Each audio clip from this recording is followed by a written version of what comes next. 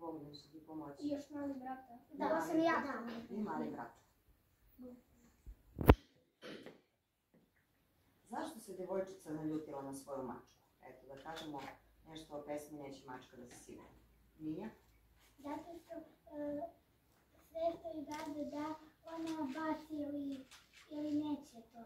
Tako. Ali se ona već igrala. Dobro. Šta je djevojčica nudila? Marko?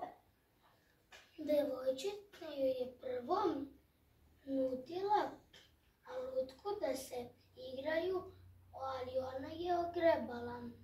Onda je devojčica probala da stavi čebe na nju, ali ga je ona skinula. A kad je probala da joj stavi šešir, čim ga je stavila, ona ga je srušila.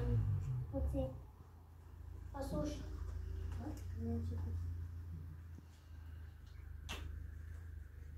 I mislim da je to to što je devojčica Dobro, nudila. Marko. Mileta? Da, meni su se najviše svidjele sve priče i sve pesme koje su nam dali i em, najviše mi se su mi se svidjele priče od Joci i Jasni i o, od čitanja se Dobro. Bogdane?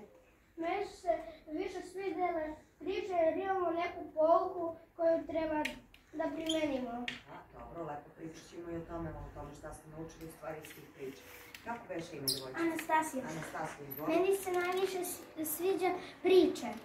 Priče ti se najviše sviđa. Da. Što ti se sviđaju priče.